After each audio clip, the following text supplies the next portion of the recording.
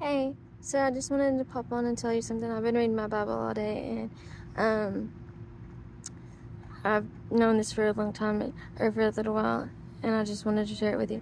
Like, have you prayed over your marriage? And I don't mean like, oh, I just picked whoever I wanted, or you know, we we wanted it to work out. I mean, before you get married, did you receive a name in your spirit to marry said person? Like, God, who am I supposed to marry? Is your prayer and then he'll he'll put a name in your spirit, and that's who you're supposed to marry. When I was five, I prayed, and mine was Aaron Carter, and I married him in New York years ago, and um, you know, I had a baclofen pump surgery. I forgot that I was married to Aaron Carter.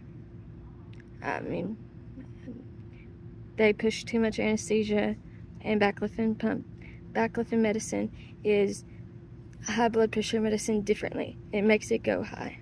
It doesn't, yeah. So, and then when your blood pressure's high, you can't remember anything anyway.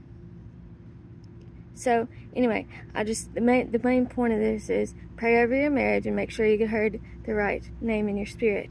And if y'all are already married and you didn't receive that name, then you need to get a divorce. Because I know I've had a Bible before that said divorce is a sin, and it is. When you're married to the correct person, it's a sin.